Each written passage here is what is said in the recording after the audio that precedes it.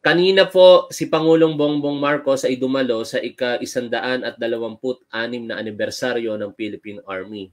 Siya po ay hinandugan of course ng arrival honor kung saan nag-troop on the line po siya, trooping the line and after that um- umakyat po sila sa stage at uh, binigyan ng parangal ang mga miyembro po ng Philippine Army at may mga iba pa pong activities na isinagawa hanggang sa magtalumpati po ang ating mahal na Pangulo. Yung talumpati po ng ating mahal na Pangulo ay mapapanood nyo sa RTBM Malacanang at nire-upload ko din po ito sa Top 1 Archive Facebook page po natin. Pero ang re-reactionan po nating video ay yung isinend na link sa akin ni Prex. Maraming salamat. Yun po ay ang media interview ng ating mahal na Pangulo right after the that uh, program sa Philippine Army, the 126th anniversary nga po ng Philippine Army. At doon po sa mga pagtatanong ng mga miyembro po ng uh, media, eh, sinigurado po ng ating mahal na Pangulo ang kaligtasan, seguridad ni Congressman Arnie Tebes at kanya po itong inihimok na umuwi na.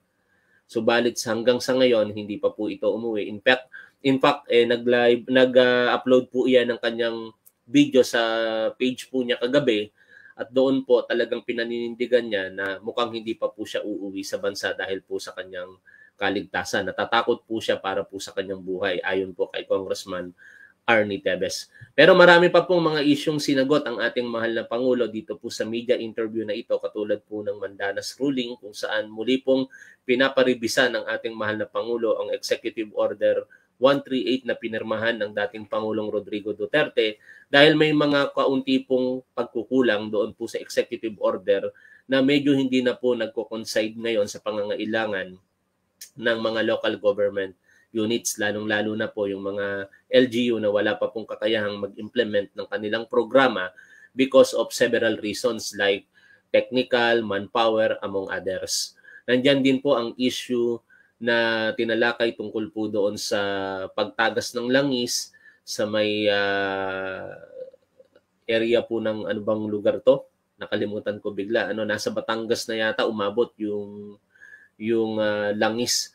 May mga portion po ng ng langis na kumakalat na po sa karagatan. Pero ang maganda po kahapon na discover na po ng ng ating otoridad sa tulong po ng Japan yung lokasyon po ng MB Empress na lumubog na naging source po ng oil spill. Okay? Panoorin po natin itong pong interview ng ating mahal na Pangulo at dahan-dahanan po nating reaksyonan. Sa, sa langis. So what we are we instituted the uh, cash for work program. Naglilinis sila and we pay them for that. Uh, that that's a continuing effort. Of course, all of Alam nyo, napakaganda nung nung naging diskarte ng gobyerno. Unfortunately, aksidente naman po iyan, pero tinitingnan ngayon kung meron pang negligence at saka criminal uh, acts against some individuals kasi parang sinasabi na itong MB Empress ay hindi na yata rehistrado. Ano, hindi ko na alam yung particular na kwento niya kasi hindi ko po yan sinubaybayan. But in this particular uh, topic, yung naging programa po ng ating Pangulo ay pagbibigay po ng kabuhayan sa mga affected areas. Siyempre, tumutulong po sila doon po sa paglilinis ng langis at yan po ay kanilang ay binabayaran po ng ating gobyerno. Kaya nga po tinawag ni Pangulong Cash for Work program. Ano? Ang nangunguna po diyan siyempre ang DSWD sa pamumuno po ni Secretary Rex Gatchalian. Are in coordination with the LGU, specifically in Miss Si Gopons Teror, uh, and he has been uh, he has been taking care of uh, his constituency in terms of providing assistance to what they need. Uh, so we are even providing food packs, we are providing not only cash for work, pero meron pa rin tayo mga uh, pantulong para nga doon sa mga mangingisda na hindi makapangisda ngayon. So that's how generally the structure works and that is the assignment of tasks between the different agencies. Ian Cruz, Jeremy Sir. I'm here, sir. Good morning. Sir, may binabanggit po si uh, Congressman Tevez. Ah, ito na. yung topic tungkol po kay Congressman Arnie Tebes. Pakinggan po natin ang uh, tugon po dito ng ating mahal na Pangulo. Meron daw pong information na hanap siya na yung order daw po parang i-insay galing sa Malacanang at uh, hindi daw po niya alam kung nagagamit kayo at ang punot dulo daw po nito ay isa po. Ang punot dulo nito ay isa po. Apo, sabi po niya. Hindi, ang punot dulo nito ay pagkapas lang Okay, para po sa kaalaman ng lahat, ha, baka meron pong hindi masyadong nakakapanood sa mga nakalipas na araw, pinas lang po si Governor Ruel de Gamo noong March 4, 2023 nang hindi po bababa sa sampung katao. At ngayon, ito pong mga katao na ito na tinuring ng suspect ay ilan po dyan o karamihan po dyan nasa kustodiya na po ng ating otoridad at lahat po sila na nasa kustodiya ng ating otoridad ay mga dating miyembro po ng Armed Forces of the Philippines highly trained individuals po ang mga ito and uh, perhaps maintained and uh, operated by a influential person diyan po sa Negros Oriental.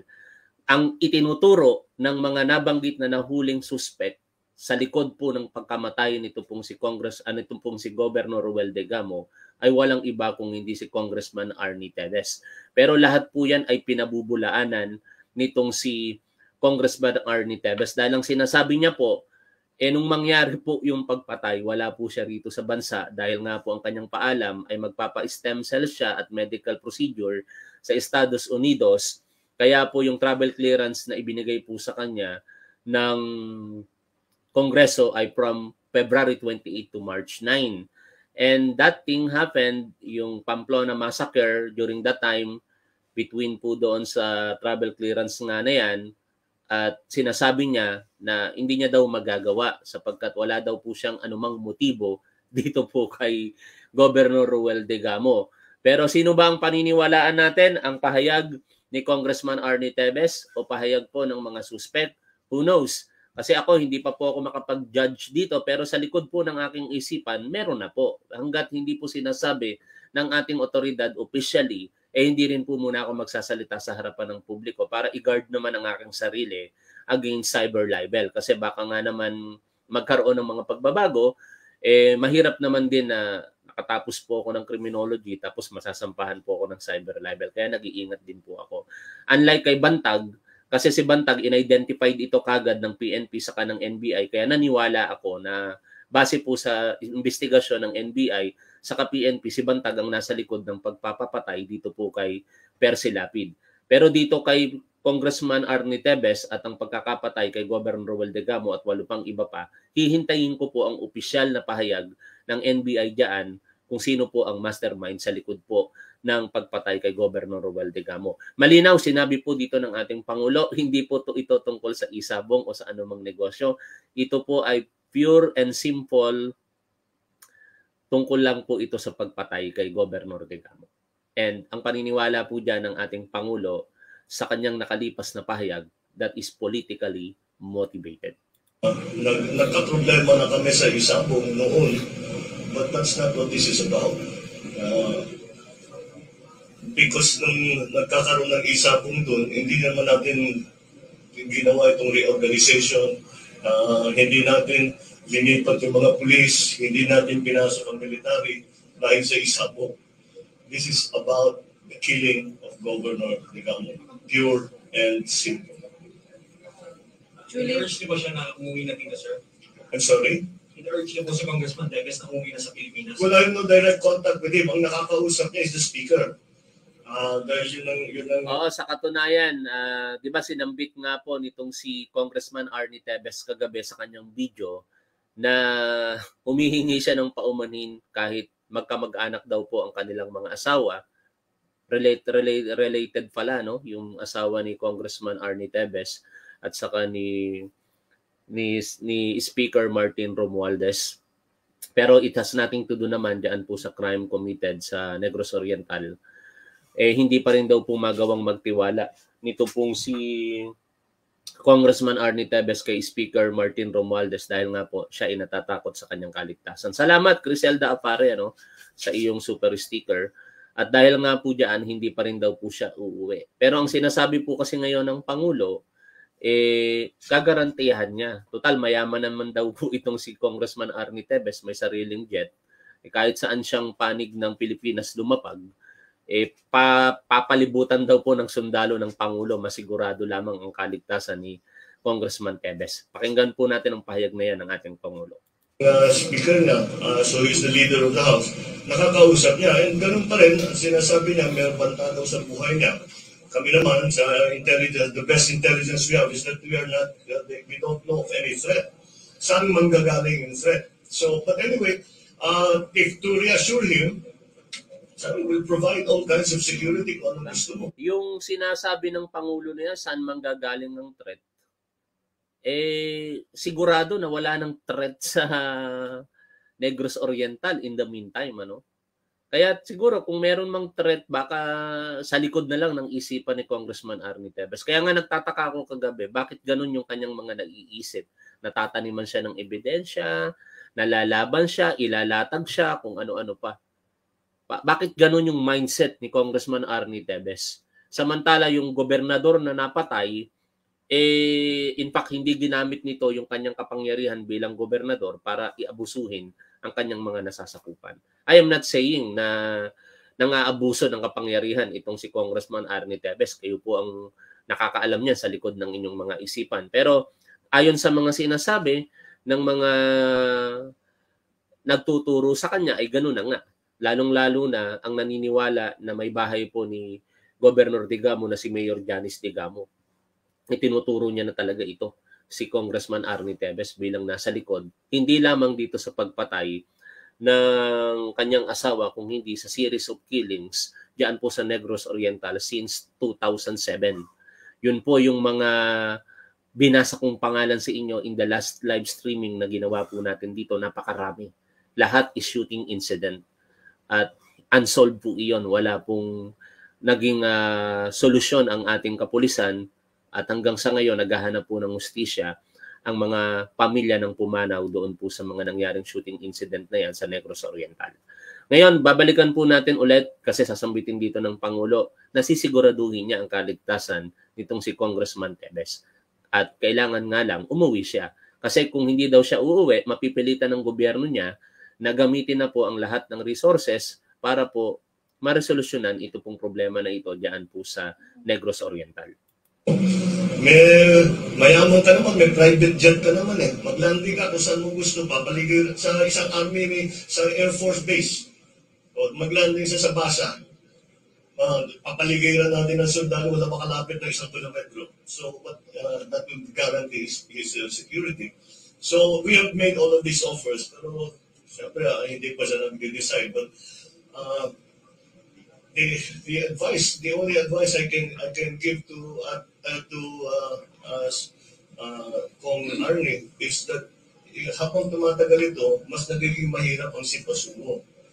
So, mas maaga kang makauwi, mas marami pang option ang uh, mapangyayari. Pero pagka masyado ng late, wala na mapipilitan ng gobyerno, we will have to move to, we will have to move without any discussions with him. Thank you, sir. Thank you, sir. Yeah. Okay?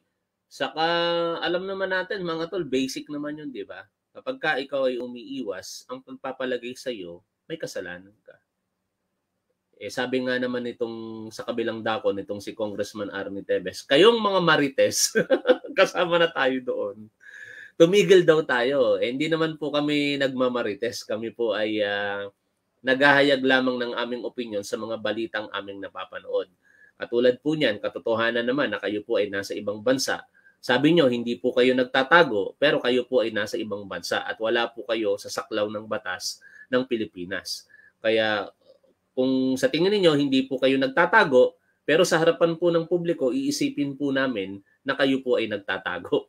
At ang pinaka-best option nyo lamang po talaga ay, sumu ay hindi sumuko, umuwi po dito sa Pilipinas at harapin ang mga ibinabatong akusasyon sa inyo Napakagaling po ng inyong abogado na si Attorney Ferdinand Topacio, kilalang kilalang abogado. Kung talagang wala naman kayong kasalanan, Congressman Arnie Tebes, kayang-kaya po kayong ipagtanggol nitong si Attorney Topacio. Thank you, sir. Julie Baisa of 1PH.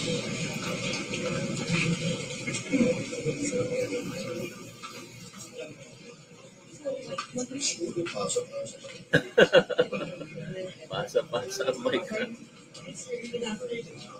Sir, dun sa Mandanas ruling, ah, do you ito na, yung Mandanas ruling na, no? Naipaliwanag na po ito ng ating mahal na Pangulo sa mga past interview niya and uh, speech. Pero to refresh our memory, ito po yung ruling ng Korte Suprema kung saan inaalis na po sa national government ang kapangyarihan pagdating po sa pag-allocate ng tax. Lahat po ng taxes na nakokolekta ng local government units ay dati kasi binabato sa sa national at yung national naman yung kita po nito sa national level ng collections of taxes hindi po nabibigyan yung LGU. Pero dahil po sa Mandanas ruling, lahat po ng collections ng taxes ng ating gobyerno ay meron na pong fair share ang LGU depende po sa kanilang status. Meron kasing mga classes yan, ano? class A hanggang class E. Pero ang problema ngayon, doon po sa devolution na tinatawag, kung saan ang mga proyekto pang national na dapat ang magsasagawa po ay local, meron pong mga LGU na hindi po kayang gawin as per uh, Secretary Amena Pangandaman na i-implement yung kanilang mga proyekto for several factors like manpower, lack of uh, training, and others. Ano, napakarami pong mga factors. Kaya kailangan pa rin po ng ayuda mula po sa sa gobyerno at yun naman po ang ginagarantiya ng ating gobyerno na hindi po mapapabayaan ang mga mahihirap na munisipalidad sa ating bansa. Pakinggan po natin uh, ang sagot dito ng ating Pangulo. Sino yung EO 138 po that gives more responsibilities and uh, uh, autonomy, autonomy sa LGU po is an alternative to charter change? No. Uh, the, the charter change uh, efforts are directed at the economic provisions and the uh, Constitution, as far as I, I understand. Uh, and so that that's what that's what that is about. And the reason is the, given by the House, uh, by the proponents in the House and those in the Senate, uh, is that they need to be changed because these conditions have changed. Uh, and for us to take full advantage of the new economy, we have to we have to uh, amend the uh, amend the constitution. Uh, so that's not the same thing as what I think you are referring to is the way we are going to handle the uh, devolution, for example, of different uh, functions to the uh, LGUs vis-a-vis the Mandanas Garcia ruling. Pinag-aaralan pa namin yun. In fact, we had a very long meeting yesterday, uh, the other day, because it's very important that we get it right.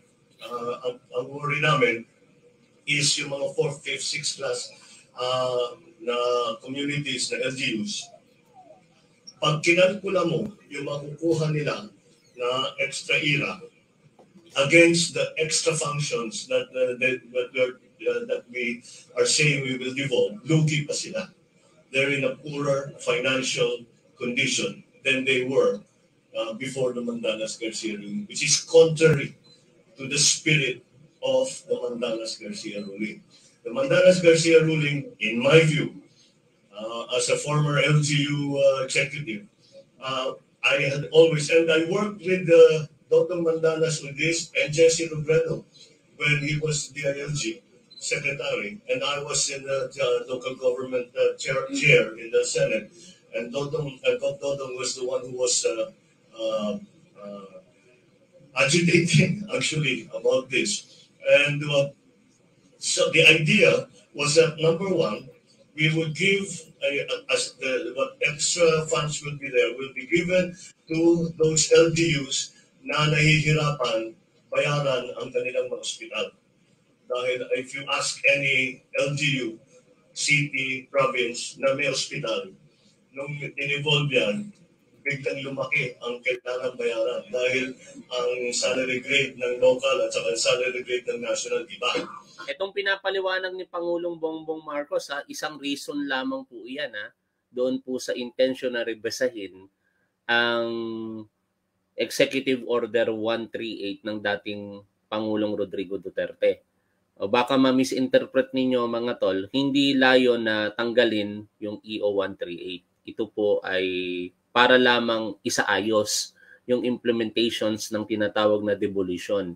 Ito pong sinasabi ng ating Pangulo, isang reason pa lamang yan at napakaraming reason. In fact, kung papanoorin nyo po ang naging interview nito pong si Secretary Amena Pangandaman kahapon o nung tama kahapon sa press briefing nila ni, De, ni Daphne Paes, eh doon ipinaliwanag po yung ilang pang mga reason kung bakit kailangang iparibasa nga ng Pangulo ito pong Executive Order number 138.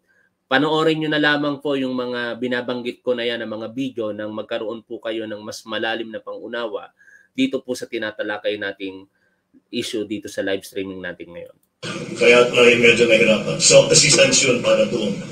Pangalawa, pangalawa yung third, fourth, fifth, fifth sixth class na uh, na LGUs, bibigyan ng tulong. Precisely because alam natin, kakaunti lang ang kanilang, uh, for example, there, I won't name the municipality, but uh, with the Bandanas Garcia ruling, that this municip- small municipality, fourth class, uh, will receive maybe 1.5, 1.7 million extra.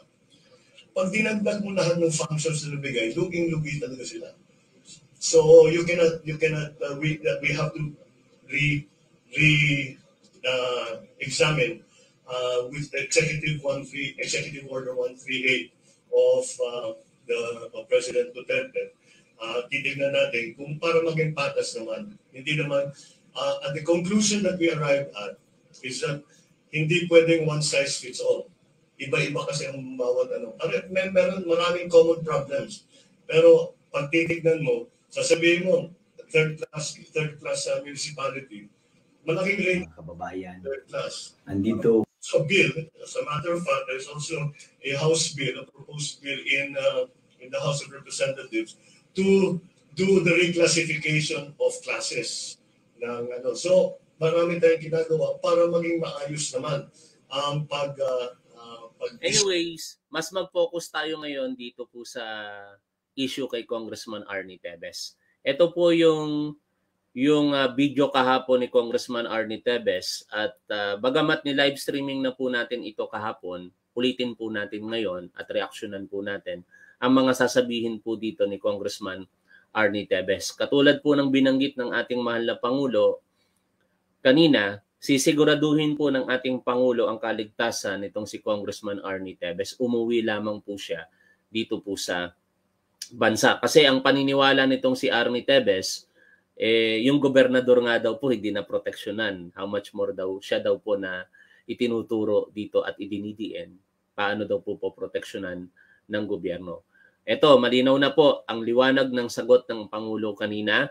Sisiguraduhin ng Pangulo na ikaw ay ligtas, umuwi ka lamang dito sa Pilipinas. Dahan-dahanan po natin itong reaksyonan, yung kanyang video kagabi. Sa aking mga palangga, mga kababayan, nandito na po ulit ako para magsalita. Kanina kasi ang hearing ng Ethics Committee tungkol sa akin. Sabi nila gusto nila akong marinig. Pero nakita At hindi po siya pinayagan sa teleconferencing kahapon. At sinasabi ngayon ng ng Ethics Committee na sila po ay magde-decide ngayong araw po na ito. Hindi ko lamang alam kung ongoing na ang hearing ng Committee on Ethics at either suspension or expulsion ang magiging kaparusahan dito po kay Congressman Arnie Teves. Kapag ka suspendido po siya, in the meantime, hindi muna siya kongresista. Pero pagka expulsion, ibig sabihin, tinanggal na po siya bilang miyembro ng House, wala na po siyang kapangyarihan bilang umakto as third district representative ng Negros Oriental. Pero siyempre, hindi naman diyan po matatapos yan. In the event na mag-decide ang Committee on Ethics na siya po ay expel diyan po sa sa Kongreso, eh, aakit po yan definitely sa Korte Suprema before po magkaroon po ng final finality and execu- execution yung decision ng House of Representatives. Kaya pakinggan po natin muli ito pong sinasabi dito ni Congressman Tebes. iusap ako na magsalita ako via Zoom para they could hear my side. Hindi nila ako pinayagan. Kailangan daw talaga face to face. Hindi ko maintindihan bakit pinipilit nila ako pumunta face to face na nakiusap nga ako na hindi magpapakita muna doon ng physical dahil sa seryosong pagbabanta at grabing pagbabanta. Yan. Seryoso at grabing pagbabanta. Eh, ang sabi po ng Pangulo, wala silang nakikitang threat dito kay Arnie Tebes. Pangulo po ang nagsabi noon, hindi na po tayo. No? Wala siyang nakikita base sa intelligence na merong threat dito kay Congressman Arnie Tebes. Ano ba ang basis ng kampo ni Congressman Arnie Tebes? Bakit po nila ini-insist na through teleconferencing lang mag-appear itong si Congressman Tebes? Meron daw po kasing rules ngayon sa House na inaalaw na hybrid ang participations sa Kongreso. At nakikita naman po natin yon kung minsan pag nanonood po tayo ng hearing, meron pong nasa teleconference lang, meron din pong nandoon mismo sa area. I do not know now kung bakit uh, sinasabi nga ng House na hindi pa pwede. Ano, in fairness dito kay Congressman Arnie Tebes, ang sinasabi kasi ng House, hindi pa pwede na via teleconference lang siya mag-appear kung hindi, dapat physically or in person, humarap siya doon po sa Committee on Ethics. At walang magagawa ngayon si Congressman Arnie Tebes sapagkat napagdesisyon na na yan ng Ethics Committee at ngayong araw nga po na ito magde-decide sila sa kapalaran nitong si Congressman Tebes. Sa aking buhay. Sa totoo lang, alam nyo, gusto ko na talagang umuwi. Kung hindi lang dahil sa banta na aking buhay, umuwi na ako. Hindi ko naman pwedeng ipagpalit yung pagkakamis ko sa ating bayan sa buhay ko. Para malaman nyo ang buong katotohanan. January 11 pa lang nung nagsalita ako tungkol alam nyo mga tol, hindi reason yung pagkakamiss. Tama naman siya. Pero sana, Congressman Arnie Tebes, hindi yung pagkakamiss mo sa Pilipinas. Kung hindi yung obligations po ninyo dito sa Pilipinas bilang kongresista ng 3rd District ng Negros Oriental. Kasi binigyan po kayo ng mandato ng inyong mga kababayan at ibinoto po kayo dyan sa 3rd District ng Negros Oriental para i-represent po sila sa Kongreso at napapabayaan nyo na po ang inyong mga constituents simula po nung hindi kayo bumalik dito sa Pilipinas supposedly on March 10. Kasi mga tol, March 9, expire yung travel clearance nito eh. Binigyan siya ng pagkakataon ng uh, Kongreso na magpakita from March 11 to 20 to 15 pero hindi nangyari. Additional days binigyan po siya ng uh, March 15 to 20 and hindi pa rin, again, binigyan po siya ng pagkakataon na 24 hours magpakita, hindi pa rin. Kaya ngayon, i-decide na po iyan ng Committee on Ethics. All sa threat sa aking buhay dahil i-raid nila ako at tataniman ng ebidensya. Bakit ko nasabing threat sa aking buhay? Dahil pwede nilang gawin doon na sabihin nila ng laban ako, bumunod ako ng yan, ang hindi ko mawari bakit ganyan ang mindset ni Congressman Tebes? Bakit niya naiisip na tataniman siya, manlalaban siya, bumunot ng barel? Gawain ba yon ng isang tao kaya naniniwala sa ganong pagkakataon? Kasi kung hindi mo gawain yon, hindi ka naman dapat maniwala sa ganon, di ba? Eh, yun ang paniniwala niya kaya wala tayong magagawa. Ang contradicting lang naman sa aking pananaw sa video po na ito ay sinasabi niya na wala naman daw po siyang tinatago. Pero kung matatandaan po ninyo, sa video niya prior po dito, yung unang video niya, pagkamatay ni Governor Degamo, kinabukasan siya po ay nagpaliwanag na wala siyang kinalaman at nakikiusap sa ating gobyerno na pag uwi niya, isusurrender niya yung mga gamit na hindi niya pa nasusurrender.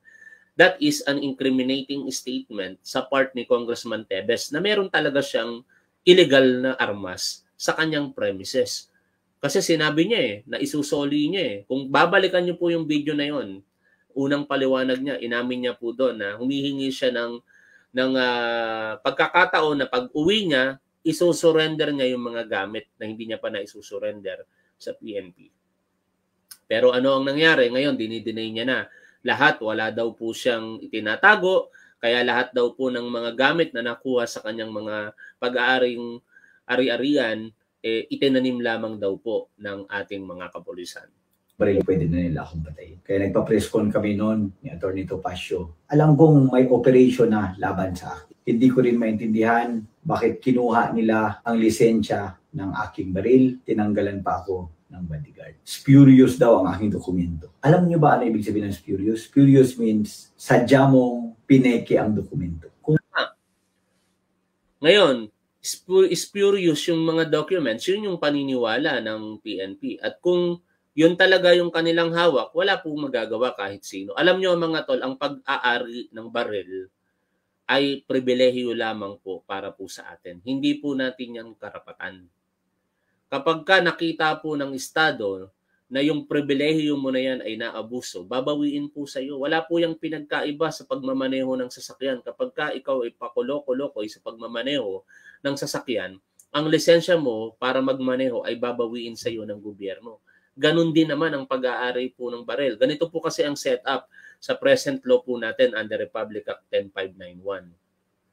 Bago ka magkaroon ng baril, dapat meron kang lisensya to possess firearms.